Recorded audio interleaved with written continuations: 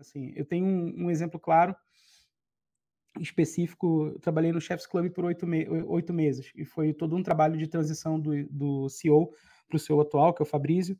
E a gente estava num momento bem desafiador, pandemia.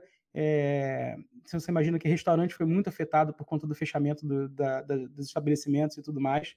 A gente passou por um momento de de transição de time, mudando o CTO, e a gente não tinha um CPO, e a gente precisava fazer todo um planejamento estratégico ali.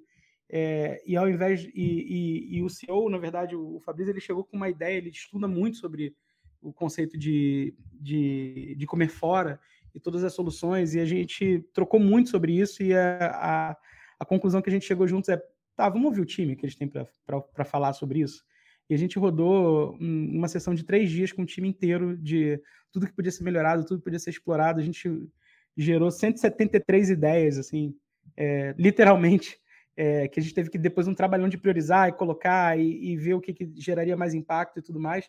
Mas isso gerou um movimento interno dentro do time, um senso também de pertencimento, de que, cara, eu estou sendo ouvido, eu vou construir aquilo, eu estou tendo voz aqui na construção, que foi incrível, na verdade, no momento que a gente que era super desafiador até moral do próprio time, eu acho que isso foi um, um ponto de, de virada. Do tipo, tá, a gente passou pela tempestade, agora a gente está construindo uma coisa nova, de uma maneira nova, de uma maneira que está ouvindo todo mundo. Assim. Então, eu acho que é uma coisa que não tem. Você deixa de. Todo mundo fala de ah, o buy do, do, do, do, colaborador, né?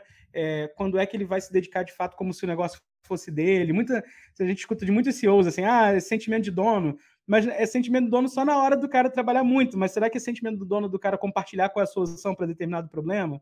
Né? E às vezes, por muitas vezes as pessoas não são ouvidas, né?